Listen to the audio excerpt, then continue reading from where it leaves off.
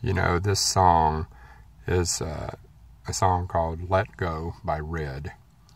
And what it is, it's a song about us and God. He's telling us, don't be afraid, just let go. When things got you down in life and you're worried about things and you go to God, He just says, just, just let go and let me handle it for you. I said, just be at peace. Don't worry. Just let go and let me have it. So, my advice to you guys is don't worry about what's going on.